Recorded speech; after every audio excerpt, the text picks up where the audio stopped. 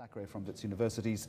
Uh, he is the Institute for Human Evolution Director. Welcome. Nice to talk to you again, Professor. What new light does this research throw onto our evolutionary past? Well, we have more detail on the nature of Australopithecus sediba, which is recognized now as a valid species based on the mandible. Um, there are six papers in Science which shed light not only on the, the cranium, the mandible, the teeth, but also the limbs, upper limbs, lower limbs, the thorax, the, the backbone. And what it shows very clearly, to me at least, is that there is no clear boundary between the genus Australopithecus and Homo.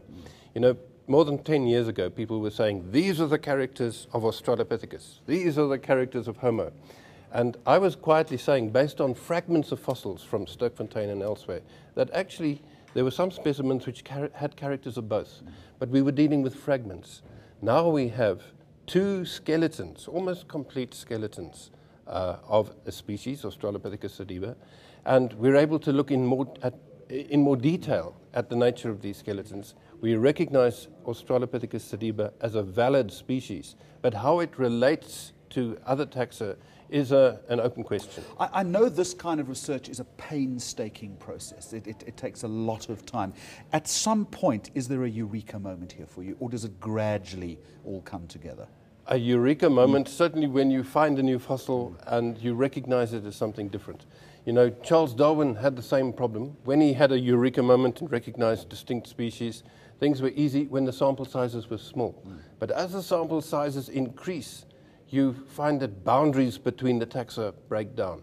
That applied to Charles Darwin's samples of barnacles. We have the same problem now with hominid fossils.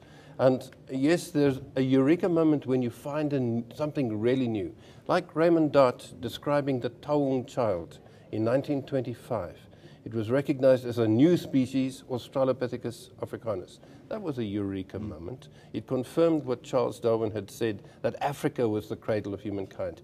In the same way, Lee Berger and his team have had a eureka moment in recognizing something distinctly different. But what follows from that hmm. is, my goodness, how does this relate to the, the nature of the human family tree? Is it a tree? Is it a bush? Or is it a thicket? so, what else have you been able to discern? Um, behavioral traits and characteristics, perhaps how it walked, for instance. Yes. That's becoming a lot clearer now, isn't it? Well, not entirely clear, mm. but showing that there are differences. Mm. We can't simply say that Australopithecus was a biped. Mm. We now recognize that there are different forms of bipedalism. In the case of Sediba, probably it wasn't a runner. Um, it, it, could walk, mm. but it could walk in a manner that was certainly different from Australopithecus africanus. Uh, that foot would have been splayed, yeah. it would have been flat footed.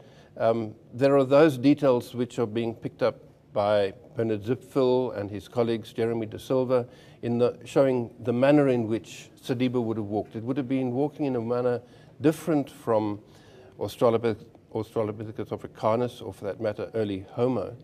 Um, but it would also have been arboreal to some extent. It would have been climbing in the trees. Um, we recognize that from the upper limb. Mm.